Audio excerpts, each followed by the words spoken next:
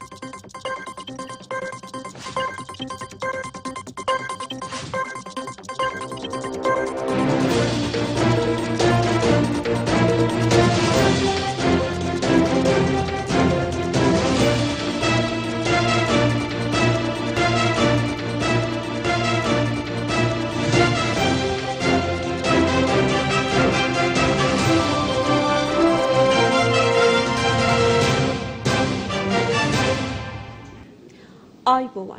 සැමට කලින් සත්‍ය හරියටම කියන සියත ප්‍රධාන පුවත් විකාශයයි මේ මම ලක්ෂිකා ප්‍රනන්තු ප්‍රථමයෙන් සිරස්තර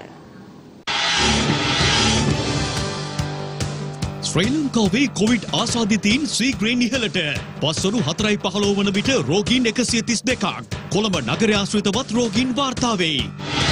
කොරෝනා වැළඳී මිය ගිය දෙවැනි රෝගයාගේ දේහය පිළිබඳ අවසන් කටයුතු මීගමුවේදී. ඉන්දියාවේ දේව මෙහයකට එක් වූ පිරිසකට කොරෝනා මෙම දේව මෙහයට ශ්‍රී ලාංකිකින් පිරිසක්ද එක්ව සිටි බව විදෙස් වාර්තා තහවුරු කරයි.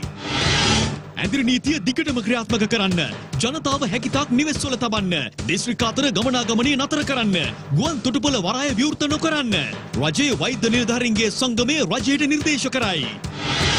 දැනට ගෙන ඇති ක්‍රියාමාර්ග මධ්‍ය වුවද රෝගීන් උපරිමයක් වාර්තාවීම අප්‍රේල් අවසානය දක්වා සිදුවිය හැකි බව සෞඛ්‍යංශ පෙන්වා දෙයි. ඇදිරි නීතියේ නීති තවත් දැඩි කරයි. ලෝපුරා COVID-19 මරණ සංඛ්‍යාව තිස් නවදහසත් ඉක්මවයි. රෝගීන් සංඛ්‍යාව අට ලක්ෂයකට අධිකයි. ශ්‍රී ලංකා ඉතිහාසයේ මුහුදේදී සොයාගත් විශාලතම මද්‍රව්‍ය තොගය. රුපියල් මිලියන දොළොස්දහස් පන්සියකට අධික මද්‍රව්‍ය තොගයක් නාවික හමුදා අත්අඩංගුවට. ප්‍රථමයෙන් දේශීය පුවත් අද දිනේ තුළ කොවිඩ් ආසාදිතයින් දස දෙනෙකු වාර්තා වීමත් සමග මෙරට වාර්තා වන කොවිඩ් ආසාදිතයින් සංඛ්‍යාව 132ක් වන බව සෞඛ්‍ය සේවා අධ්‍යක්ෂ ජෙනරාල් විශේෂඥ වෛද්‍ය අනිල් ජාසිංහ මහතා පවසනවා. එය අද කොළඹදී පැවති මාධ්‍ය හමුවකදී. අද දින COVID-19 රෝගීන් 10 දෙනෙක් වාර්තා වෙලා තියෙනවා. මේ අනුව සම්පූර්ණ සංඛ්‍යාව 132ක් බවට පත් වෙනවා. මේ අයගෙන් 30 දෙනෙක් මහනුවර අකුරණ ප්‍රදේශයේ එම රෝගීන්ට සම්බන්ධ පුද්ගලයන් ඒ වගේම කළුතර ප්‍රදේශයේ වාර්තා වෙලා තියෙනවා 6 දෙනෙක්. ඒ 6 දෙනාගෙන් 4 දෙනෙක් කෙලින්ම කලින් රෝගී වූ කෙනෙකුට සම්බන්ධ ඒ පවුලේ උදවිය තව දෙදෙනෙක් කළුතරින් වාර්තා වෙලා තිනවා සහ දෙහිවලින් එක පුද්ගලයෙක්. මේ අය කළුතර මහරෝහලේ ප්‍රතිකාර ගනිමින් ඉන්න අය. මේ අනුව 132ක් බවට පත් වෙනවා. මේ රටේ ජනතාවගෙන් අපි නිරන්තරයෙන්ම ඉල්ලා හිටිය මේ රෝග ලක්ෂණ ඔබේ තිබෙනවා නම් කරුණා කළා රජය විසින් අඳුනාගෙන ඇති මහ ජනතාවට ප්‍රකාශයට පත් කරලා ඇති රෝහල් 27ක් තියෙනවා හැම දිස්ත්‍රික්කයකම එක රෝහලක් තියෙනවා ඒ රෝහල් වලට ඇතුළත් වෙන්න කියලා අපි දිගින් දිගටම මේ රටේ ජනතාවගෙන් ආයාචනා කළා නමුත් ඒ කියන ඉල්ලීම් කිසිවත් නොසලකා ඊයේ මිය ගිය රෝගියා ගෙදර සිට නොයෙකුත් තැන්වලට ගිහිල්ලා ප්‍රතිකාර අරගෙන තමන්ගේ ගෙදරට වෙලා ඉඳලා දැඩි සත්කාර ඒකකයට ඇතුළත් කිරීමට තරමටම අසාධ්‍ය වුණාම තමයි මීගමුව රෝහලට ඇවිල්ලා දවසක් ඇතුළත මීගමුව රෝහලේදී දැඩි සත්කාර ඒකකදී මිය ගියේ. මේ තියෙන නරක తত্ত্বය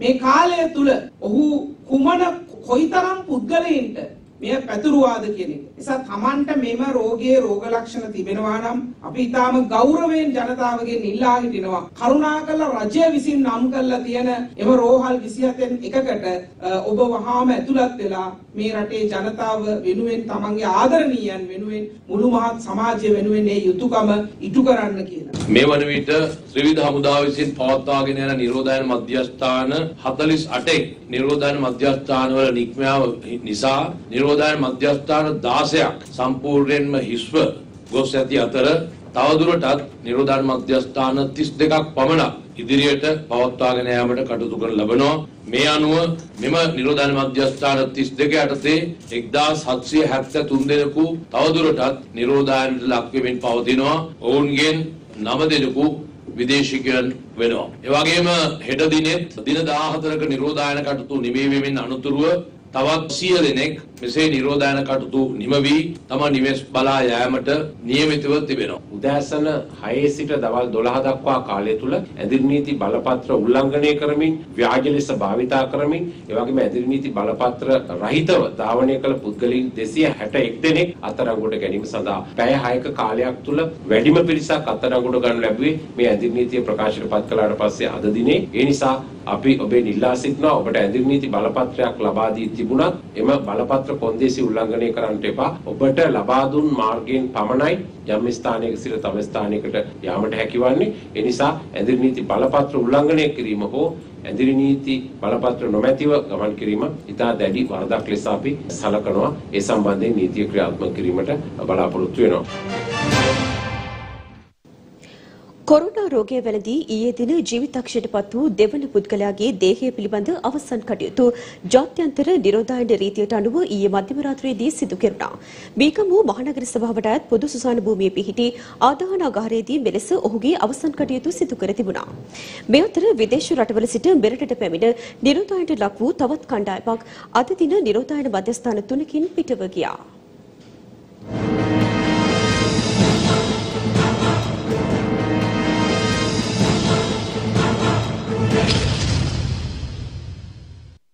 කොරෝනා වෛරසය වැළඳී ඊයේ දින ජීවිතක්ෂයට පත් වූ 64 හැවිරිදි මීගමු පෝරුතොට ප්‍රදේශයේ පදිංචි පුද්ගලයාගේ අවසන් කටයුතු ජාත්‍යන්තර නිරෝධායන නීතිය යටතේ ඊයේ මධ්‍යම රාත්‍රියේදීම සිදු කිරීමට සෞඛ්‍ය අංශය පියවර ගත්තා.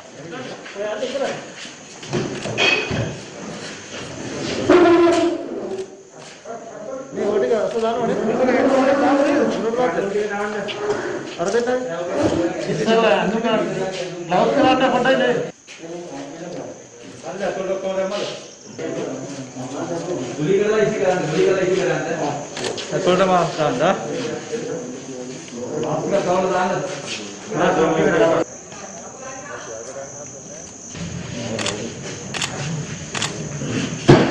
ඒ අනුව මීගමුව මහනගර සභාවට අයත් පොදු සුසාන භූමියේදී එම ආසාදිතයාගේ දේහය ආදාහනය කෙරෙනු අතර එම අවස්ථාවට මියගිය පුද්ගලයාගේ කිසිදු ඥාතියෙකු සහභාගී වී නැහැ. වෛරසයෙන් මියගිය දෙවන පුද්ගලයා ජීවත්ව සිටි නිවසේ ඔහුත් සමග පුද්ගලින් 11 දෙනෙකු ජීවත්ව සිට ඇති අතර ඔවුන්වද ඊයේ දින සෞඛ්‍ය නිලධාරීන් විසින් නිරෝධායනය සඳහා යොමු කළා.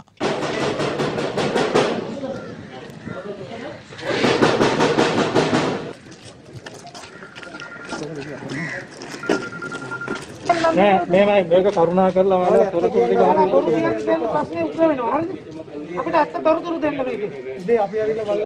ඉන් අනතුරුව මියගිය පුද්ගලයා ජීවත්ව සිටි පෝරුතොට ප්‍රදේශයේ කොටසක් සම්පූර්ණයෙන්ම බාහිර පරිසරයෙන් හුදකලා කොට වසා දැමීමට සෞඛ්‍ය අංශ පියවර ගත්තා. ඒ අනුව මේ වන විට ප්‍රදේශ හතරක් බාහිර සබඳතා වලින් හුදකලා කොට වසා දමා ඇති අතර එලෙස වසා දැමුණු ප්‍රදේශ වන්නේ අටලුගම අකුරණ බේරුවල පන්නිල මීගමුව පෝරුතොට යන ප්‍රදේශයි. මේ අතර අකුරණ ප්‍රදේශයේදී කොරෝනා වෛරසය ආසාදනය වූ බවට හඳුනාගත් පුද්ගලයා දඹුල්ල නිකවටවන ප්‍රදේශයේ සැරිසැරූ බවට ලද තොරතුරක් මත අද දින මහජන සෞඛ්‍ය පරීක්ෂක නිලධාරීන් සහ දඹුල්ල පොලිසිය එක්ව නිකවටවන ගම්මානයේ නිවාස හතක පුද්ගලින් 33 දෙනෙකු නිවාස තුළම නිරෝධායනය කිරීමට අද දින කටයුතු කළා. මීටරෙන් දුර ඉඳලා කතා කරමු. එයාත් මේ පැත්තට ආවා කියලා. ඔබතුමාලා ඒක ගැන දන්නවද? මම නම් දන්නේ නැහැ මම දෙක දෙකක් නෑ යාව. ඒ සමන් අංගිලාගේ තමයි නාටිකමක් තියෙන්නේ. ආ. ඇයිද ඉඳලා පෙන්නන්න. මේ මෙයා නෑ නෑ පොරවරලියා.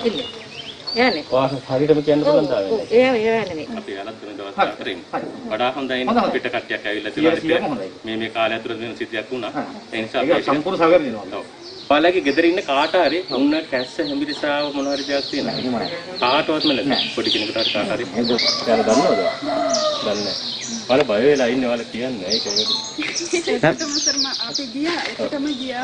හානියක් වුණොත් ඔයාලට වෙන්නේ ඒකයි. මැති ඇමතිවරු එහෙම හිටියද? ඒක තමයි ඔයාලා අහලා නෑ සාමාන්‍ය මලගයක් වුණාම ගිහිල්ලා මෙහෙම දූගෙන ඉන්නේ නෑනේ. ඉන්න අල්ලමු ගෙදරනේ. මේ සති දෙකක් යනකම් නෑදෑ ගෙවල් වල යන්න එපා පිට ගෙවල් වල යන්න එපා. හරිද? ඔයාලා කාට හරි කැස්ස හැමරිසා වුණ ඇතුළේ මොනවක් හරි වෙන විශේෂ රෝග ලක්ෂණයක් තිබුණොත් හොස්පිටල් එකට යන්න කලින් අපිට කතා කරලා කියන්න. කෙසේ නමුත් පොලිසිය සහ සෞඛ්‍යංශය එක්ව තොරතුරු සනාථ කර ගැනීමෙන් අනතුරුවයි මෙලෙස එම ගම්මානයේ නිවාස කිහිපයක් නිරෝධායනයට ලක් කිරීමට කටයුතු කළේ. මේ අතර දඹුල්ල මහනගර සභාවේ සෞඛ්‍යංශීය අධීක්ෂණය යටතේ නිවස තුළ නිරෝධායනයට ලක් කර සිටි පුද්ගලයෙකු හදිසියේ නිවසින් අතුරුදහන් වීම හේතුවෙන් දඹුල්ල මහනගර සභාවේ සෞඛ්‍යංශයේ නිලධාරීන් මෙම පුද්ගලයා සොයා යන අවස්ථාවේදී ඔහු දඹුල්ල නගරයේ රාජ්‍ය බැංකුවකට පැමිණ තිබෙන බවට අනාවරණය වුණා. ඒ හේතුවෙන් එම රාජ්‍ය බැංකුව දඹුල්ල මහනගර සභාවේ මහජන සෞඛ්‍ය මෙහෙයුම් ඒකකයේ නිලධාරීන් සහ සේවකයින් විසින් විස බීජ හරණය සිදු කළා. එමෙන්ම හැටන් දික්කොය දරවල වත්ත පහළ කොටසේ වතුකම්කරු පවුල් දෙසියක් පමණ අද දින සිට ස්වයන් නිරෝධායනයකට යොමු කිරීමට අඹගමුව ප්‍රාදේශීය සෞඛ්‍ය අංශය කටයුතු කර තිබෙනවා. දේව ගැතිවරයෙක් පසුගියදා හැටන් දික්කොය ප්‍රදේශයේ දේවස්ථානයකට පැමිණ දේව යාඥාවක් පවත්වා ආහාර මළු බෙදා දී එම දේව ගැතිවරයා දිවයිනින් බැහැරව යාමෙන් පසු ඔහුට නව කොරෝනා වෛරසය වැළඳී ඇති බවට තහවුරු වී තිබුණා. එම හේතුව කරන කොටගෙනයි හැටන් දික්කොය රදවල වත්ත පහළ කොටසේ වතුකම්කරු පවුල් දෙසියක් මෙලෙස නිරෝධායනයට ලක් කෙරුණේ. මේ අතර අගරපතන ප්‍රදේශයේ පෞද්ගලික තේ කර්මාන්ත ශාලාවකට තේ ප්‍රමාණය සඳහා පැමිණි ලොරි රථ 6ක රියදුරන් සහ රිය සහායකයන් පිරිසක් එම තේ කර්මාන්ත ශාලාවේම නිල නිවසක සොයන් නිරෝධායනයකට යොමු කළ බව ලිඳුල ප්‍රාදේශීය සෞඛ්‍ය වෛද්‍ය නිලධාරීවරයා සඳහන් කළා. වත්තල ජයල කොළඹ ගම්පොල සහ රත්නපුර යන ප්‍රදේශවල සිට පැමිණි එම රියදුරන් සහ රිය සහායකයන් වෙනත් දිස්ත්‍රික්කවලට පැමිණීමේදී එම ප්‍රදේශයේ භාර සෞඛ්‍ය වෛද්‍ය නිලධාරීවරයාගෙන් නිර්දේශයක් සහිතව පැමිණිය යුතු අතර මෙලෙස හමු වූ රියදුරන් සහ රිය සහායකීන්ට එවැනි නිර්දේශයක් නොතිබූ හේයින් ඔවුන්ව මෙලෙස නිරෝධායනය සඳහා යොමු කර තිබෙනවා. මේක අනිවාර්යෙන්ම ජනතාවගේ අති විශිෂ්ට කැපවීම අවබෝධය සහ ඉවසීම මත පමණක්ම ජයග්‍රහණය කළ හැකි රෝගීත. ඒකයි තේරුම් ගන්න. ඒ නිසා රජය කිව්වත් නොකිව්වත් අනිවාර්යෙන්ම පළවෙනියෙන්ම කළ යුතු දේ තමයි තමන්ගේ යාළුවා, තමන්ගේ හිතවතා, තමන්ගේ ඥාතියා, තමන්ගේ දුව දරුවා මේ කවුරු වුණත් යම්කිසි විදියක මෙවැනි රෝග තත්ත්වයක් තියෙන කෙනෙක් අසුරු කිරීමක් හෝ යම් කිසි සමීපයක් තිබුණා නම් ඔහු හැය මේක සංගවන්නේ නැතිව අනිවාර්යයෙන්ම අදාළ බලධාරීන්ට දැනුවත් කරන්න. ඒ දැනුවත් කිරීමෙන් පස්සේ Taman පෞද්ගලික හෝ ස්වයං නිරෝධායනයකට වක් වෙන්න. මේකේ අපේ අරමුණ තමයි මේ ලෙඩ බෝ වෙන්නේ වෙන කිසිම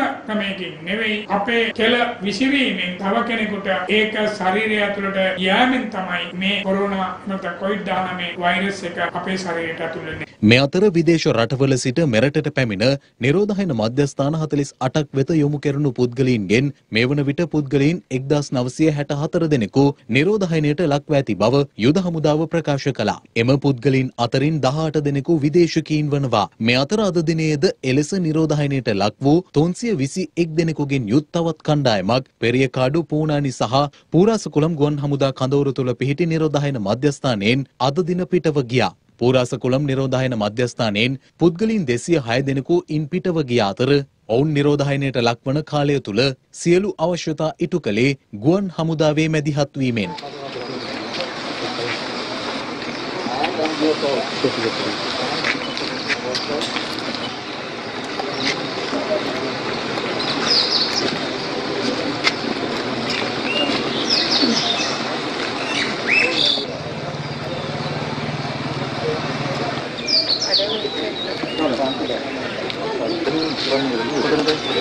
එමෙන්ම පෙරියකාඩු නිරෝධායන මධ්‍යස්ථානයෙන් පුද්ගලීන් එකසිය හතර දෙනෙකුත් පූනානි නිරෝධායන මධ්‍යස්ථානයෙන් පුද්ගලීන් එකොළොස් දෙනෙකුත් අද දින මෙලෙස නිරෝධායනයට ලක්ව සිය නිවෙස් බලා පිටව ගියා. Thank you so much, madam. We really appreciate the cooperation that you extended to us during your stay here. I hope we uh, provided you all the facilities. මම අපේ යුද හමුදාවයගෙන් ඉගෙනගත්ත උදාහරණයක් තියෙනවා. මොනතරම් ගැරහියුම් ආවත් බැනුම් ඇහුවත් ඔවුන් අපේ රටේ ආපදාවක් සිදුවෙන වෙලාවක නොපැකිලිව ඉදිරිපත් වෙලා ඔවුන්ගේ රාජකාරිය ඒ අකුරෙන්ම ඉෂ්ට කරලා හැමෝටම එක වගේ ආදරෙන් අපිව බලාගත්තා. ඔවුන් නිදියන් නිදාගන්න තැන පවා අපිට දීලා ඔවුන් ටකරම් මඩුවල නිදිනවා දැකලා අපේ ඇස්වලට කඳුළු ආවා ඇත්තටම. අපේ ත්‍රිවිධ හමුදාව දිකුකල් ජීවත් වෙන්න ඕනේ. සීල දෙවියන්ගේ පිහිට ආරක්ෂාව ලැබෙන්න ඕනේ. දැන් නම් සන්තෝසයි. දාලා යන්නත් ලෝබයි එතරම්. ඉතින් මෙතන සංග්‍රහ සාත්තු ගැන වචන කියන්න නෑ. ඉතින් එතරම් හොඳයි. හමුදාව ගැන මම ගොඩක් පැහැදිලා කොහොමත් ඉන්නේ. ඉතින් ඒ සියලු සේවයන්ට ස්තුති වචනයක් හරි ස්තුති කරන්න අමතර සමා වෙන්න. හැබැයි මම පළමුවෙන්ම මගේ ගෞරවය නමස්කාරය දෙන්නේ අපේ ජනාධිපතිතුමාට. එයාගේ හරි නායකත්වයේ තමයි මේ සියල්ලටම සෑම කෙනෙකුට නම් නොකියුවත් හදවතින් හදවතින්ම ස්තුතියි ස්තුතියි God bless you all to my country also. And the major for අපි ඉන්නකම් අපිට එයාලා හොඳ කෑම බීම දීලා අපිව හොඳින් බලාගත්තා. ඒ වගේම අපිට හොඳට සැලකුවා. මම ඒගොල්ලොන්ට ගොඩාක් ස්තුතිවන්ත වෙනවා. very helpful and concerned about us all the way through, and we're very grateful. මම බෙල්ජියමෙන් ආවේ. ලංකාවට ආවට පස්සේ මම නිරෝධායනයට ලක් වුණා. හමුදාව අපිට ගොඩක් හොඳින් සැලකුවා. ඒගොල්ලෝ අපිට හොඳ කෑම බීම ගෙනල්ලා දුන්නා. ඒ වගේම අපිව හොඳින් බලාගත්තා.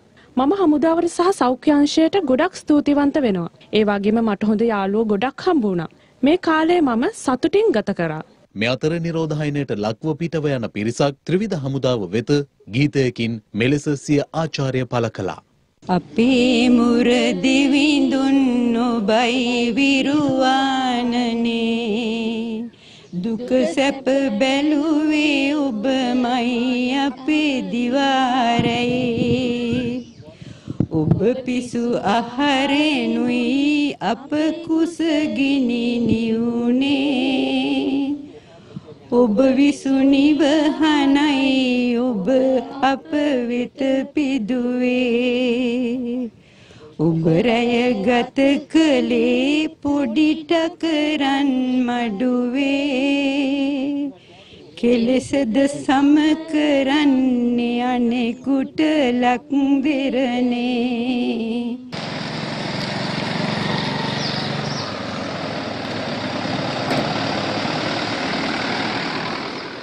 මේ අතර දැනට පවතින කොරුණා වසංගතයේ වත්මන් තත්ත්වයේ හේතුවෙන් රෝහල් වල බාහිර රෝගී අංශවලට සෞඛ්‍ය සේවා ලබා ගැනීම සඳහා පැමිණෙන රෝගීන්ට තම නිවසේ සිටම වෛද්‍යවරයාගෙන් ලබාගත යුතු වෛද්‍ය උපදෙස් ලබා ගැනීමට මේ වන විට වීඩියෝ තාක්ෂණය ඔස්සේ ක්‍රමවේදයක් හඳුන්වා දී තිබෙන අතර එම ක්‍රමවේදයේ නියම ව්‍යාපෘතිය අද දින ආරම්භ කෙරුණා. වගේ virtually යාට සර්වර් බුක් කරන්න පුළුවන්. ඉතිරියක් නැත් අප්ඩේට් කරන්න පුළුවන්. ඒතකොට patient දැනුම් දෙන්න මේක හලෝ කොහමද බබාට ආ ඒකේ අපි බේත් දැන් අඩු කරලාද තියෙන්නේ අඩු කරලා තියෙන බේත් එක බබාට කියන්නකො බබාගේ කොහමද කියලා අහන්න බබාගේ ලෙඩේ කොච්චර කාල බේත් ගන්නවද දැන් අවුරුදු 3ක විතර කරනවා ආහා මේ පහුගිය මාසේ හැදුනේ නැද්ද ෆිට් එක මෙහිදී වෛද්‍යවරයා සහ රෝගියා අතර ජංගම දුරකථන මාර්ගයෙන් එම වෛද්‍ය සේවාව ක්‍රියාත්මක කිරීමට කටයුතු සූදානම් කර ඇති බවයි සෞඛ්‍ය අමාත්‍යාංශයේ නිවේදනයක් නිකුත් කරමින් ප්‍රකාශ කරන්නේ. මේ අතර khනිජ තෙල් ගබඩා පර්යන්ත සමාගම විසින් කොළඹ රථවාහන පොලිසියේ පොලිස් නිලධාරීන් හට මුඛ ආවරණ සහ අත්සෝදන දියර ලබා දීමක් අද දින සිදු කළා. එමෙන්ම රත්නපුර මහරෝහල සඳහා ආරක්ෂිත ඇඳුම් කට්ටල බෙදා දීමක් අද දින සිදු වූ අතර මහනුවර රෝහලේද වෛරසය ආසාදනයෙන් ප්‍රතිකාර ලබන රෝගීන් සිටින වාට්ටුව වෙත වෛද්‍ය උපකරණ සහ ඇඳන් කිහිපයක් බෙදා දීමද අද සිදු වුණා. මේ අතර පොලිස් විශේෂකාර්ය බලකාය විසින් අද දින මඩකලපුව නගරයේ මහජනතාව ගැවසෙන ස්ථාන කිහිපයක් විස බීජ හරණය සිදු කළේ මේ අයුරින්.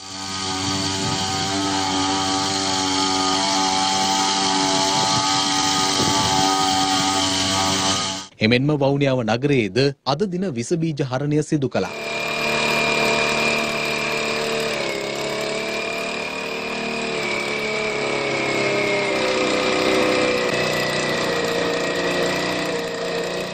මේ අතර රත්ගම රිල්ලඹ ප්‍රදේශයේ කාමර අටකින් සමන්විත වූ රිලැක්ස් හවුස් නම් සංචාරක නිකේතනය නිරෝධායන මධ්‍යස්ථානයක් ලෙස භාවිත කිරීම සඳහා එහි හිමිකරු විසින් රත්ගම සෞඛ්‍ය වෛද්‍ය කාර්යාලය වෙත අද දින බහර දෙනු ලැබුවා. වසංගත විද්‍යානුකූල අනාවැකි වලට අනුව ශ්‍රී ලංකාව තුළ දැනට ගෙන ඇති ක්‍රියාමාර්ග මධ්‍ය වුවද රෝගීන් උපරිමයෙන් වාර්තා වී අප්‍රේල් මාස අවසානයේ දක්වා සිදු විය හැකි බව රජයේ වෛද්‍ය නිලධාරීන්ගේ සංගමය පවසනවා. පවතින තත්ත්වය සම්බන්ධයෙන් නිවේදනයක් නිකුත් කරමින් රජයේ වෛද්‍ය නිලධාරීන් මේ බව ප්‍රකාශ කළා. එමෙන්ම ඔවුන් රජයට විශේෂ නිර්දේශ 8ක් ක්‍රියාත්මක කරන ලෙසටද දන්වා සිටියා. රජයේ වෛද්‍ය නිලධාරීන්ගේ සංගමය විසින් ශ්‍රී ලංකාවේ වත්මන් කොවිඩ් තත්ත්වය පිළිබඳව නිකුත් කළ වාර්තාවට අනුව ශ්‍රී ලංකාවේ තත්ත්වය පිළිබඳව දැඩි සැලකිල්ලක් යොමු කිරීම අත්‍යවශ්‍ය වී තිබෙනවා. ඒ අනුව ඔවුන් පෙන්වා දෙන්නේ ලෝක සෞඛ්‍ය සංවිධානයේ රෝග පැතිරීම පිළිබඳ වර්ගීකරණයට අනුව ශ්‍රී ලංකාව 3A මට්ටම එනම් නිවෙස් ආශ්‍රිත රෝගී සමූහයන් සිටින අතර 3B තත්වයට එනම් ගම හෝ නගරය තුල කුඩා රෝගී කණ්ඩායම් සමූහයන් හෝ හතරවන කාණ්ඩය වන රෝගය සමාජය තුල පැතිරීමේ අවස්ථා මට්ටමට ඇතුළු වීමට දැඩි අවධානමක් මේ වන විට මතු ඇති බවයි. දැනට සිදු කර ඇති අධ්‍යයනයන්ට අනුව මේ මොහොතේ ගත හැකි සියලුම දැඩි ක්‍රියාමාර්ග හා උග්‍ර ප්‍රතිචාර හරහා කොරෝනා රෝග ව්‍යාප්තිය මර්ධනය කර ගැනීම සඳහා ලෝක සෞඛ්‍ය සංවිධානයේ සියලුම සමාජික රටවලට දැඩි ලෙස අවවාද කර ඇති බවත් රාජ්‍ය වෛද්‍ය නිලධාරීන්ගේ සංගමය පවසනවා. ඒ අනුව ශ්‍රී ලංකාව තුළද ක්‍රියාත්මක කළ හැකි පියවරයන් ගණනාවක් පවතින බවයි ඔවුන් මෙම නිවේදනයෙන් පෙන්වා දෙන්නේ. අංක එක සිට අසුවකට වඩා වැඩි සමාජ දුරස්ථකරණයක් තහවුරු කිරීම. ඒ අනුව සමාජ දුරස්ථකරණය සියට අසුවකට වැඩි මට්ටමේ පවත්වා ගැනීම සඳහා ගත යුතු සියලු ක්‍රියාමාර්ග දිවෙන පුරා ඒකාකාරී ලෙස ක්‍රියාවට නැංවිය යුතු බව නිර්දේශ කරන බවයි රාජ්‍ය වෛද්‍ය නිලධාරීන්ගේ සංගමය පවසන්නේ. ඒ සඳහා සියලු පුරවැසියන් හැකිතාක් දුරට තම නිවස තුළම සිටීමේ වැදගත්කම නිරන්තරයෙන් අවධාරණය කෙරෙනවා. බැංකු කටයුතු අත්‍යවශ්‍ය ආහාර ද්‍රව්‍ය හා ඖෂධමය අවශ්‍යතාවයන් නිවස තුළටම ළඟා වන ක්‍රමවේදයන් ශක්තිමත් කිරීම. විටින් විට ඇඳිරි නීතිය ලිහිල් කිරීම වහාම නැවැත්වීම. දිස්ත්‍රික් අතර සංචරණය හැකි තාක් දුරට අවම කිරීම. රෝග ව්‍යාප්තිය රට පුරා සිදු කළ හැකි පරිදි ජනතාව එක් රැස් වන අධි අනතුරුදායක ස්ථාන පිළිබඳව දැඩි තීන්දු තීරණවලට එළඹීම. දමුල්ල ආර්ථික මධ්‍යස්ථානය දීවර බරායන් මැනින් වෙළඳපොළ ඇතුළු ප්‍රධාන වෙළඳ මධ්‍යස්ථාන තේ කර්මන්තශාලා ඉන් උදාහරණ කිහිපයක්. දෙවැනි කරුණ ලෙස ඔවුන් පෙන්වා දෙන්නේ රෝග ව්‍යාප්තිය පාලනය කිරීම සඳහා ජනතාව විසින් පෞද්ගලික සනිපාරක්ෂාව සම්බන්ධ නිරන්තරයෙන් අවධානය යොමු කිරීමයි. උදාහරණයක් ලෙස ඔවුන් පෙන්වා දෙන්නේ නිවැරදිවත් සේදීමයි. තෙවන කරුණ රෝහල් පද්ධතිය තුළ ධාරිතාවේ ඉහළ නැංවීම. ඒ තුළ භෞතික සම්පත් සහ මානව සම්පත් සංවර්ධනය. ඒ තුළ අඩංගුවට සුවිශේෂී කාරණයක් වන්නේ පසුගිය දින කිහිපය තුළ ඇතැම් රෝගීන් සත්‍ය වසන් කිරීම නිසා ඉතා වාසනාවන්ත ලෙස රෝහල් හතරක වෛද්‍යවරුන් ඇතුළු සෞඛ්‍ය කාර්ය මණ්ඩලයේ සැලකිය යුතු ප්‍රමාණයක් නිරෝධායනය සඳහා යොමු කර ඇති බවත් ඇතැම් ඒකක සම්පූර්ණයෙන් වසා දැමීමට අද වන විට සිදු වී ඇති බවයි. උදාහරණ ලෙස මීගමුව ශ්‍රේජාවර්ධනපුර කළුබෝවිල රාගම හා ද සොයිසා රෝහල් ඔවුන් පෙන්වා දෙනවා. ඒ අනුව ඉදිරියේදී රෝගීන් රෝහලට පැමිණෙන විට ඒ අයට ප්‍රතිකාර කිරීම සඳහා සෞඛ්‍ය කාර්ය මණ්ඩලවල දැඩි හිඟයක් නිර්මාණය වීමටද ඉඩ ඇති බවයි රාජ්‍ය වෛද්‍ය නිලධාරීන් පෙන්වා දෙන්නේ. අංක හතර රෝගීන් සමග සමීප සම්බන්ධතා පැවැත්වූ පුද්ගලයන් ස්පර්ශකයින් හඳුනාගෙන ඒ අය නිරෝධායනයකට ලක් කිරීම. පහ කොරෝනා රෝගීන් හඳුනා ගැනීමේ පරීක්ෂණ පහසුකම් වඩාත් පුළුල් කිරීම. හය රෝග ප්‍රතිකාර සඳහා සුවිශේෂී ඖෂධ හඳුනා ගැනීම. මේ වන විට ලෝකයේ පුරා මේ පිළිබඳ විවිධ පරීක්ෂණ සිදුවෙමින් පවතින බවත් ඔවුන් සඳහන් කරනවා. ශ්‍රී ලංකාව තුළ හයිඩ්‍රොක්සි ක්ලෝරොක්වින් ඖෂධය භාවිතා කිරීම මේ වන විටත් ආරම්භ වී ඇත.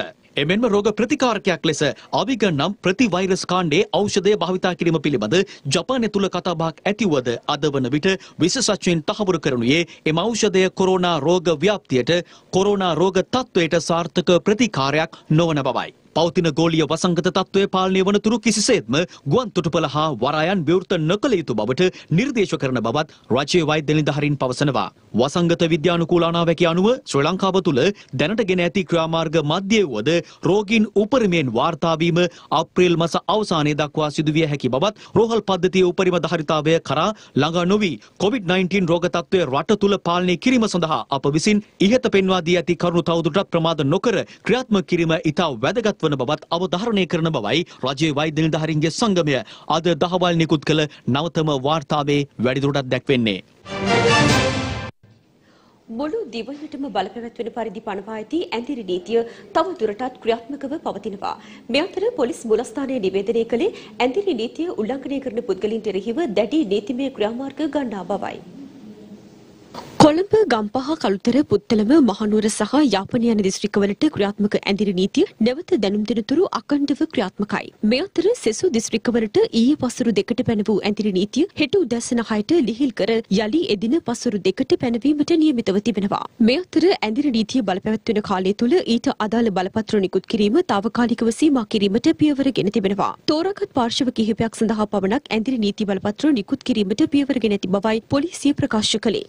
මේ අතර පොලිස් මූලස්ථානයේ නිවේදනය කළේ තම සේවා හැඳුනුම්පත ඇඳිරි නීති බලපත්‍රය වශයෙන් භාවිත කිරීමට අවසර ලත් තැනැත්තන් සහ එම වාහන හැර ඇඳිරි නීති බලපත්‍රය නොමැතිව මහා මාර්ග සහ අතුරු මාර්ගවල ගමන් ගන්නා සියලුම තැනැත්තන් වරන්තුවක් නොමැතිව අත්අඩංගුවටගෙන නිරෝධායන රෙගුලාසි යටතේ සහ අපරාධ නීති යටතේ නඩු පවරනු ලබන බවයි. අධිකරණයෙන් වැරදිකරු වුවහොත් සිර දඬුවමකට සහ දඩයකටද යටත් වනු ඇත. ඊට අමතරව එම තැනැත්තන් අවශ්‍යතා අනුව මහජන සෞඛ්‍ය පරීක්ෂකවරුන් වෙත හෝ අධිකරණ වෛද්‍ය නිලධාරීන් වෙත ඉදිරිපත් කර වාර්තා ලබා ගැනීමට කටයුතු කරන බවයි පොලිසිය සඳහන් කළේ. එම වාහන පොලිස් භාරයටගෙන මෙම වසංගත තත්ත්වය පහව යන තෙක් රඳවා ගැනීමට කටයුතු කරනු ලබනවා. ඇඳිරි නීති උල්ලංඝනය කිරීම සම්බන්ධයෙන් අද උදැසන 6 සිට අද දහවල් 12 දක්වා කාල සීමාව තුළ අත්අඩංගුවටපත් පුද්ගලින් සංඛ්‍යාව 261ක් බවයි පොලිස් මුලස්ථානයේ නිවේදනයක් නිකුත් කරමින් පවසන්නේ. පොලිස් භාරයට ගෙන ඇති වාහන සංඛ්‍යාව 96ක්. ඒ අනුව ඉකුත් 20 වනදා සවස 6 සිට අද දහවල් 12 දක්වා ඇඳිරි නීති උල්ලංඝනය කිරීම සම්බන්ධයෙන්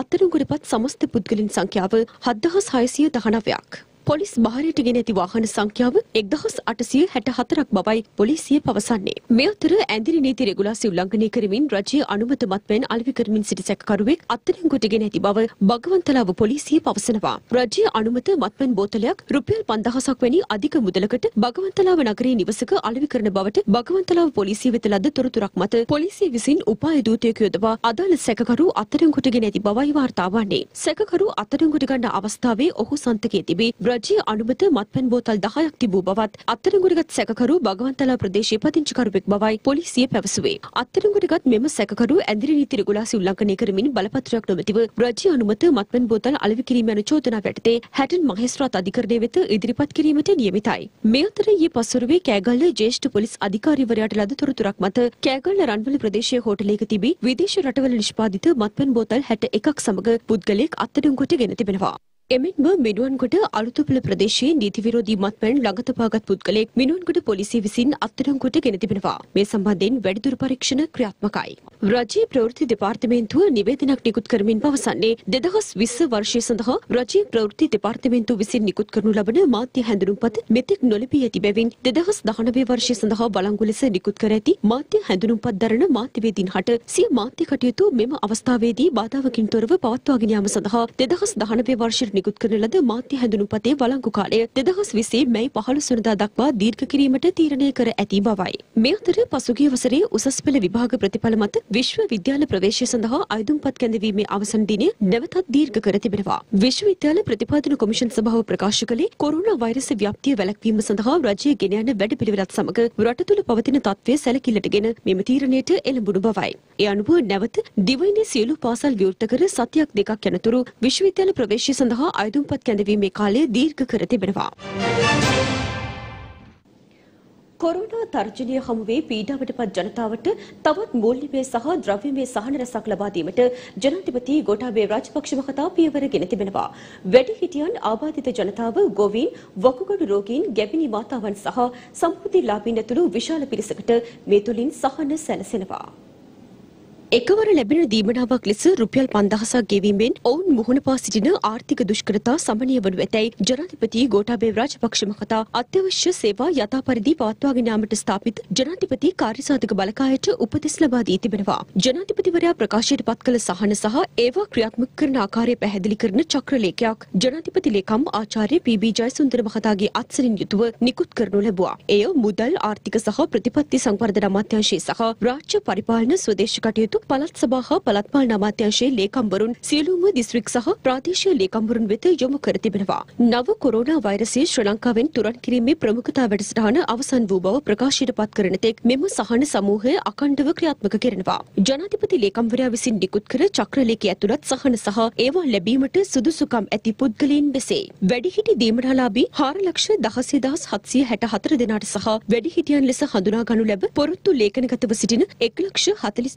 1,42,345කට රුපියල් 5000 ගෙවනු ලැබේ. ආබාධිත දීමනාලාභී 84071ක් සහ ආබාධිත ලෙස හඳුනා ගනු ලැබ පොරොත්තු ලේඛනයේ සිටින 35229 දෙනාටද රුපියල් 5000 දීමනාව හිමිවනවා. ගොවි රක්ෂණ යෝජනා ක්‍රමය යටතේ ලියාපදිංචි 1,66,675ක් වන ගොවීන්ටද රුපියල් 5000 දීමනාව හිමිවේ. වකුගඩු රෝගී දීමනාලාභී 25320ක් සහ පොරොත්තු ලේඛනයේ සිටින 13850 දෙනාටද රුපියල් 5000 දීමනාව ගෙවනු ලැබේ. ගර්භණී මාතාවන් සහ මන්ද පෝෂිත දරුවන් සඳහා ත්‍රිපෝෂ සහ වෙනත් පෝෂණ ද්‍රව්‍ය නිවස වෙත ඍජුවම සපයනු ලැබේ. සමෘද්ධි හිමිකම්ලාභී 17 ලක්ෂ 98655 දෙනාට සහ පොරොත්තු ලේඛනගත පවුල් 6 ලක්ෂ 339 දෙනාට රුපියල් 5000 දීමනාව සමෘද්ධි බැංකුව සමෘද්ධි අධිකාරී මගින් ගෙවනු ඇත. 6 ලක්ෂ 45179ක් වන විශ්‍රාමික රජයේ සේවකයන්ට විශ්‍රාම වැටුප ගෙවනු ලැබේ. 15 ලක්ෂයක් වන රජයේ සේවකින්ගේ අප්‍රේල් මාස වැටුප ගෙවන අතර වැටුප මත ණය මුදල් අය කිරීම නැවත දන්වන තුරු අත්හිටුවා තිබේ. ත්‍රිරෝද රථ, ට්‍රක් රථ, වෑන් රථ සහ ස්වයං රැකියා සඳහා භාවිත මෝටර් රථ හිමියන් ඇතුළු ස්වයං රැකියාවල නිරත 15 ලක්ෂයක් දෙනාට කල්පතු වාරික සඳහා සහන සැලසේ. උද්ගත වෙති තත්ත්වය හමුවේ ආර්ථික අපහසුතා නිසා සේවක වැටුප් ගෙවීමට නොහැකි පෞද්ගලික ව්‍යාපාරවලටද සහන හිමි වේ. ඉහත වර්ගීකරණයට අයත් නොවන නමුත් අවධානමට මුහුණ පා සිටින්නන් ලෙස හඳුනා ගන්නා අයටද සමාන සහන සැලසෙන බවයි ජනාධිපති මාධ්‍යංශය පවසන්නේ. එය මහජන සෞඛ්‍ය පරීක්ෂකවරුන් සමාජ සේවා සංවර්ධන, සමෘද්ධි සංවර්ධන, කෘෂිකර්ම පර්යේෂණ සහ පවුල් සෞඛ්‍ය සේවා නිලධාරීන්ගේ සහ දිස්ත්‍රික් ලේකම්වරුන්ගේ අධීක්ෂණය යටතේ සිදු කරනවා. දිස්ත්‍රික් සහ ප්‍රාදේශීය ලේකම්වරු අත්‍යවශ්‍ය ආහාර ද්‍රව්‍ය පුද්ගලින් වෙත ඍජුවම බෙදා දීමට ක්‍රියා කළ යුතු බව ජනාධිපති ලේකම්වරයාගේ චක්‍රලේඛයේ සඳහන්. මේ ක්‍රියාදාමයේදී ගොවීන්ට සාධාරණ මිලක් ලැබෙන පරිදි අතර මැදියන්ගෙන් තොරව සත්වස සමූපකාර වෙළඳ සැල් සහ පෞද්ගලික වෙළඳ ජාලයන් හවුල් කර ගන්නා ලෙසද දැනුම් දී තිබෙනවා. එසේම අදාළ නිලධාරීන් ජනාධිපති කාර්යසාධක බලකායේ උපදෙස් සහ මඟ පෙන්වීම යටතේ ක්‍රියා කළ යුතු බවයි ජනාධිපති ලේකම්වරයා පෙන්වා දෙන්නේ. කොවිD-19 හෙවත් නව කොරෝනා වෛරසය සම්බන්ධයෙන් රජය ගෙන ඇති ක්‍රියාමාර්ග පිළිබඳව විමර්ශනයක් සිදු කර තිබෙනවා. ඒ සමගී ජනබලවේගයේ නායක සජිත් ප්‍රේමදාස මහතාගේ මූලිකත්වයෙන් පැවති හමුවකදී සමගි ජනබලවේගයේ පක්ෂනායකින්ගේ හමුව සහ ඒකාබද්ධ නිවේදනය උපුටා ගැනීම. මෙම රෝගයේ ජාතික සහ ජාත්‍යන්තර ව්‍යාප්තිය සලකා බලා මෙය මර්ධනය කිරීම රාජ්‍ය කටයුත්තක් වෙමින් එය මර්ධනය උදෙසා රාජ්‍ය යාන්ත්‍රණයට සම්පූර්ණ සහය දීමට තීරණය කෙරුණා. ශ්‍රී ලංකාව දූපත් රාජ්‍යකි. විදේශිකින්ට පැමිණිය හැකි මර්මස්ථානය ගුවන්තොටුපළයි. තීරණාත්මක අවස්ථාවේ එය වසා නොදැමීමත්, එතර සිට පැමිණ පිරිස් විධිමත් ලෙස පරීක්ෂා නොකිරීමත් බරපතල වරදක් වන අතර මෙරටින් හමු වූ පළමු කොරෝනා රෝගියා සංචාරක මඟ පෙන්වන්නෙක් වූ අතර එවැනි තත්ත්වයක් තුළ පවා සංචාරක ප්‍රවර්තන වැඩසටහනක් රජය විසින් දියත් කරනු ලැබුවේ ලංකාව කොරෝනා වලින් තොර රටක් බවට ප්‍රචාරය කරමිනි. මහමැතිවරණයක අවශ්‍යතාවය නිසාත් නාමයෝජනා ලබා දීමේ අවශ්‍යතාවය නිසාත් මේ වසංගතය දුරු කිරීමට ක්‍රියාමාර්ග ගැනීම මන්දගාමී විය. නමුත් අවසන් මොහොතේ මැතිවරණ කොමිසම විසින් කුමන පීඩාවක් යටතේ වුවද මැතිවරණයට වඩා ජනතාවගේ සහ රාජ්‍ය සේවකයින් ගැන සලකා මැතිවරණය කල් දැමීම ගැන අපි ඔවුන්ට ස්තුතිවන්ත වෙමු. ඇඳිරි නීතිය නිසා රටේ පවතින ආහාර සහ ආදායම් අහිමි වූවන් මෙන්ම දුගී කමේ පත්ලෙහිම සිටින ජනතාවට නොමිලේ වියලි සලකයන් දිය යුතු බවට අප ඉල්ලා සිටිමු. එමෙන්ම අනිකුත් ආදායම් සහිත නමුත් මේ මොහොතේ අසරණව සිටින පිරිස්වලටද එකී වියලි සලකය ලබා දිය යුතු බව අප යෝජනා කරමු. එය සෑම සතියකම ලබා දිය යුතු අතර වැදගත්ම කාරණය වන්නේ ග්‍රාම නිලධාරීන්ගෙන් පටන්ගෙන රාජ්‍ය නිලධාරීන් ලවා එය ක්‍රියාත්මක කිරීමයි. මෙයට ආණ්ඩු පක්ෂයේ දේශපාලන ක්‍රියාකාරීන් සම්බන්ධ කර ගැනීම ගැන අපගේ පිළිකුල් සහ දැඩි විරෝධය පළ කරමු. දැනට සම්මත අතුරු සම්මත ගෙනුම වළංගු වන්නේ අප්‍රේල් 30 වනදා දක්වා පමණි. එමෙන්ම පවතින ව්‍යවස්ථාවට අනුව ඊළඟ පාර්ලිමේන්තුව කැඳවන දිනයට මේ කාලය තුල මුදල් වියදම් කිරීමට නියෝග දීමේහි බලයක් ජනාධිපතිවරයාට හෝ මුදල් ඇමතිවරයාට නැත. එබැවින් කොරෝනා ඌදුර මඩින්නට අවසි අරමුදල් සම්පාදනය සඳහා ව්‍යවස්ථාමය අනුමැතියක් අවශ්‍යයින් වහම පාර්ලිමේන්තුව කැඳවා ඊට අනුමැතිය ගනු ඇතැයි අප අපේක්ෂා කරමු. බහුතර බලය අප සතු වුවද එවැනි අනුමැතියක් සඳහා අපගේ උපරිම සහය ලබා දෙමු. ඒ වගට සහතික වෙමු. උපුටා ගැනීම අවසන්. ශ්‍රී ලංකා නාවික හමුදාව විසින් සිදු කළ විශේෂ මෙහෙයුමකදී ගැඹුරු මුහුදේදී අයිස් හෙරෝයින් ඇතුළු මිලියන 12500කට අධික මත්ද්‍රව්‍ය තොගයක් අත්අඩංගුවට ගෙන තිබෙනවා. එය මෙතෙක් ඉතිහාසයේ ගැඹුරු මුහුදේදී අත්අඩංගුවටගත් විශාලම මත්ද්‍රව්‍ය තොගයයි. ශ්‍රී ලංකා නාවික හමුදාවේ ගැඹුරු මුහුදු ආවේක්ෂණ නෞකාවක් වන සයුර නෞකාව මගින් පසුගිය 28 වනදා සෙනසුරාදා දින උදෑසන 9:30ට පමණ ශ්‍රී ලංකාවේ දකුණු වෙරළේ සිට නාවික සැතපුම් 463ක පමණ දුරකදී එනම් දල වශයෙන් කිලෝමීටර් 835ක දුරකදී මද්‍රව්‍ය ප්‍රවාහනය කරමින් තිබූ යාත්‍රාවක් අත්අඩංගුවට ගෙන තිබෙනවා. මෙය විදේශ යාත්‍රාවක් වන අතර එය විදේශ රාජ්‍යයක දජයක් සහිතව ජාත්‍යන්තර මුහුදේ යාත්‍රා කරමින් තිබේදී ශ්‍රී ලංකා නාවික හමුදාව නිරීක්ෂණය කර තිබුණා. මෙම යාත්‍රාව පරීක්ෂා පරීක්ෂාවට ලක් කිරීමේදී එහි තිබී අයිස් නැමැති මත්ද්‍රව්‍ය කිලෝග්‍රෑම් 500ක ප්‍රමාණයක් සහ කොකේන් මත්ද්‍රව්‍ය කිලෝග්‍රෑම් 500ක් ඇතුළුව තවත් මත්ද්‍රව්‍ය පැකට් තොගයක් සොයා ගැනීමට හැකිව තිබෙනවා. මෙම සියලු මත්ද්‍රව්‍යවල වීදි අගය රුපියල් මිලියන 12500කට අධික වන බවට අනුමාන කරන බවයි නාවික හමුදා මාධ්‍ය ප්‍රකාශක කමාන්ඩර් ඉසුරු සූරිය බණ්ඩාර මහතා ප්‍රකාශ කළේ. මෙම විදේශ යාත්‍රාව ශ්‍රී ලංකා නාවික හමුදාව වැඩිදුර පරීක්ෂණ සඳහා හෙට දින දිකෝවිට වරාය වෙත රැගෙන විත් පරීක්ෂා කිරීමට නියමිතයි. පසුගිය මාස දෙකක කාලය තුළ ජාත්‍යන්තර මුහුදේදී ශ්‍රී ලංකාවට මත්ද්‍රව්‍ය රැගෙනීමෙන් තිබෙදී අත්අඩංගුවට ගත් තුන්වන විදේශ යාත්‍රාව මෙය වනවා. මීට පෙර පෙබරවාරි මාස 22 වනදා සහ 25 වන දින මද්‍රව්‍ය රැගෙනීමෙන් සිටියේදී විදේශ යාත්‍රා දෙකක් සහ එයින් ශ්‍රී ලංකාවට මද්‍රව්‍ය ප්‍රවාහනය කළ ශ්‍රී ලාංකික දීවර යාත්‍රාවක් අත්අඩංගුවට ගෙන තිබූ අතර විදේශිකයන් 16 දෙනෙකු හා ශ්‍රී ලාංකිකයන් 5 දෙනෙකු අත්අඩංගුවට ගනු ලැබුවා. මොහොතේදී මද්‍රව්‍ය ප්‍රවාහනයට සම්බන්ධ ශ්‍රී ලාංකිකයන් 6 දෙනෙකු ඉන් අනතුරුව දකුණු ප්‍රදේශයේදීද අත්අඩංගුවට ගැනීමට ශ්‍රී ලංකා නාවික හමුදාව සහ පොලිස් මද්‍රව්‍ය නාශක කාර්යාංශය සමත් වුණා. ශ්‍රී ලංකා නාවික හමුදාව පසුගිය දින කිහිපය පුරාවටම ජාත්‍යන්තර මුදු සීමාවේ සිදු කරන ලද මෙහෙයුමකින් මද්ද්‍රව්‍ය බවට සැක කෙරෙන ද්‍රව්‍යයන් තොගයක් ප්‍රවාහනය කරමින් තිබූ විදේශ දිවරණ යාත්‍රාවක් අත්අඩංගුවට ගත්තා. එම යාත්‍රාව වැඩිදුර පරීක්ෂා කිරීමේදී අපට අයිස් එම නැත්නම් සිස්ටම් මෙතැම්ෆෙටමින් බවට සැක කෙරෙන මත්ද්‍රව්‍ය කිලෝග්‍රෑම් 500කට අධික ප්‍රමාණයකුත් ඒ වගේම කොකේන් බවට සැක කෙරෙන මත්ද්‍රව්‍ය කිලෝග්‍රෑම් 500කට අධික ප්‍රමාණයකුත් තිබෙන තිබෙනවා බවට අපිට සොයාගෙන ලැබුණා. මේ සමස්ත තොගය මත්ද්‍රව්‍ය බවට තහවුරුවොත් මෙහි වීතිය වටිනාකම රුපියල් මිලියන 10000ක් එහෙම නැත්නම් කෝටි 1000කට අධික වෙතයි කියලා තමයි දැනට ගණන් බලලා තිබෙන්නේ. විශේෂයෙන්ම සඳහන් කරන්නට අවශ්‍යයි මේ මෑත ඉතිහාසයේ දන්නා ඉතිහාසයේ ගත්තාම ශ්‍රී ලංකාවේ නියාමකයේ මෙහෙයුමක් තුළින් සිදු කරපු ලොකුම මත්ද්‍රව්‍ය පැටලීම මේ බවට අපිට සනාථ කරගන්න පුළුවන්. ඉතින් මේක ඉතා විශාල ජයග්‍රහණයක්. ඒ වගේම මේ අත උමරගත් යාත්‍රාව සහ ඒ වගේ සැකකරුවෝ මේ සියලුම දෙනා වැඩිදුර විමර්ශන කටයුතු සඳහා තාමත් ඉක්මනට අපි ගොඩනගට රැගෙනීමට බලාපොරොත්තු වෙනවා. කොරෝනා රෝගය සම්බන්ධයෙන් කොරෝනා වෛරසයේ ව්‍යාප්තිය සම්බන්ධයෙන් රට තුළ පවතින තත්ත්වය හමුවේ භාණ්ඩ බෙදා දීම ඇතුළු තවත් සමාජ සත්කාර කිහිපයක් වල තොරතුරු ඇතුළත් පුවත් රටවටා පුවත් තුළින් අප සූදානම් ඔබ වෙත ගෙනෙන්නට.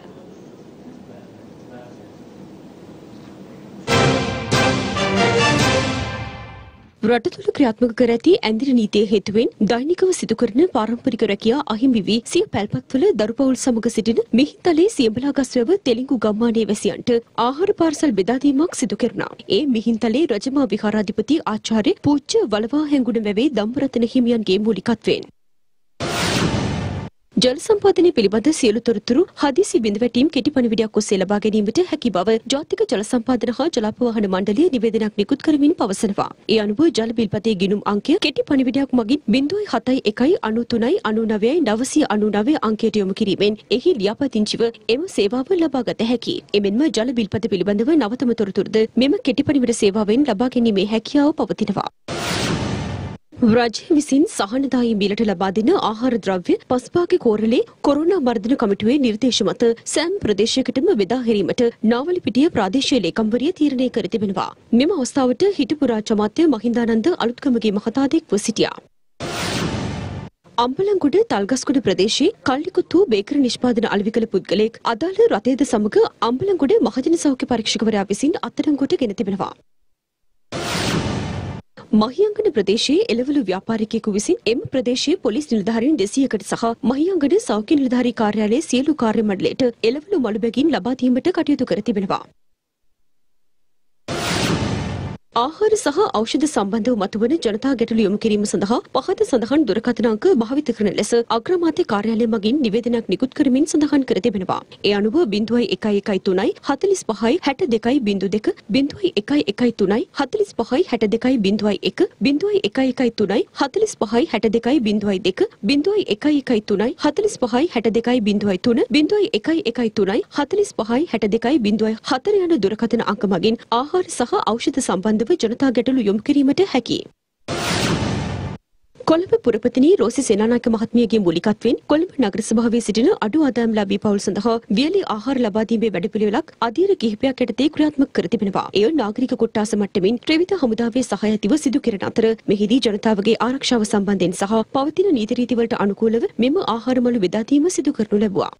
සියලු දෙනාම මුඛාවරණයකින් යුක්තව පැමිණ තමයි මේ වැඩසටහන අපි ඉදිරියට කරමින් පවතින්නේ. පවුල් 80000කට අපි සූදානම් කළා තියෙනවා. මේ වෙනකොට 50000කට සැලසුම් සහගතව අ, දින 3ක් හෝ 4ක් ඇතුළත අද මධ්‍යස්ථාන 26කි. ඒ වගේම හෙට දිනේ අනිද්දාත් අපිට දෙන්න අ, කටයුතු කරමින් සිටිනවා. අග්‍රාමාත්‍ය මාධ්‍ය ප්‍රකාශක නීතිඥ ප්‍රේමනාත් සී දොළවත්තම කතා විසින් තම මැතිවරණ ප්‍රචාරණ අරමුදල සතු මුදල් යොදා ගනිමින් IDH රෝහල වෙත වියලි ආහාර කොත්තමල්ලි සහ බෙනිවැල්ගඩ ලබා දීමට කටයුතු කර තිබෙනවා. ඇඳිරි නීති කාලය තුළ ජනතාවට මුදල් ලබා ගැනීමට නොහැකි වීමත් තවද බැංකු අසල ජනතාව ඒකරාශී වීම වැළැක්වීම සඳහාත් ලංකා බැංකුව විසින් ජංගම ස්වයංක්‍රීය මුදල් යන්ත්‍රයක් ගාල්ල හපුගල සරසවී ප්‍රදේශයට අද දින පිටත් කර යවා තිබෙනවා. කොරෝනා වෛරසය මෙරටින් තුරන් කිරීමට දේශපාලන වේදිකකින් තොරව සියලු දෙනා එක්ව කටයුතු කළ යුතු බව හිටපු පාර්ලිමේන්තු මන්ත්‍රී රංජිත් වද්දුම බණ්ඩාර මහතා පවසනවා. එය අද කොළඹදී පැවති මාධ්‍ය හමුවකදී.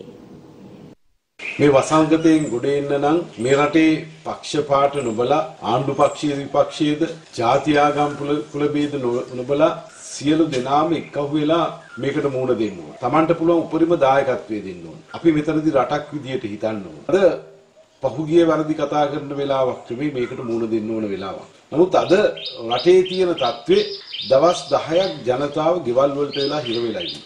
ඒ පීඩනය නිසා තමයි ඇඳුරු නීති අයින් කරපු ගමන් ජනතාව එළියට ඇවිල්ලා Tamanට ඕන කෑම බඩු ටික Tamanට ඕන දේවල් ලබා ගන්න කටයුතු කරා. ඉතින් රජයක් වශයෙන් රජයේ කාර්යභාරය තමයි මේ වගේ වෙලාවක ජනතාවට වියලි ආහාර මල්ලක් ලබා දෙන එක. අපි රජයට කියනවා කරුණා කරලා මේ අයට සතියක් ජීවත් වෙන්න ප්‍රමාණවත් අඩුතරමේ රුපියල් 5000කවත් වියලි ආහාර මල්ලක් මේ අයට ලබා දෙන්න කටයුතු කරන්න කියලා. අපි දන්නවා තැන් තැන් වල අසංවිධානාත්මක විදිහට මේ කටයුතු කරනවා දේශපාලඥයෝ පුළුවන් විදිහට. රජයේ යාන්ත්‍රණයක් තියෙනවා මේ රටේ. අමාත්‍යාංශ ලේකම්වරයාගේ ඇමතිවරයාගේ ඉඳලා දිසා ලේකම් ප්‍රාදේශීය ලේකම් ග්‍රාම සේවක දක්වා ආපදා තත්වයකදී අපේ යාන්ත්‍රණයක් තියෙනවා ජනතාවට උදව් කරන යාන්ත්‍රණය. රජයට අපි කියනවා දේශපාලන යාන්ත්‍රණ මේකට යොදා ගන්න එපා. අපි දන්නවා සමහර වෙලාවට මේ මාධ්‍ය හරහා යම් අය විවේචනය කරන්න විහිළුවට ලක් කරන්න. මේක මේ වෙලාවේ කරන්න ඕන දෙයක් නෙවෙයි. ඒව කරන්න මැතිවරණයක් කාලේ. ඒ දේවල් අයින් කරන්න ඒ වගේ බාල වැඩ කරන්න එපා කියලා අපි මාධ්‍යයෙන් ඉල්ලා සිටිනවා. ප්‍රධාන පුවත් විකාශය අවසන්. තවත් උණුසුම් පුවත් දැනගැනීමට පිවිසෙන්න ලංකාවේ අංක එකේ සිංහල වෙබ් අඩවිය www.siethanews.lk අපගේ වෙබ් අඩවියට. යළිත් හමුවෙමු රාත්‍රී පුවත් විකාශයත් සමගින්. ඔබට සුබ සන්ධ්‍යාවක්.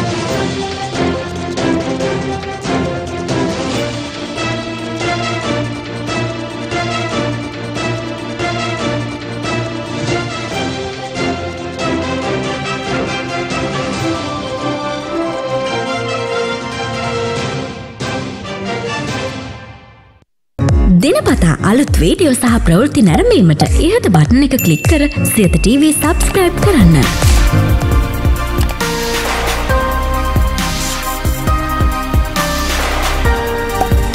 අලුත් වීඩියෝ ගැන මුලින්ම දැනගන්න මෙම සීනුව ක්ලික් කරන්න.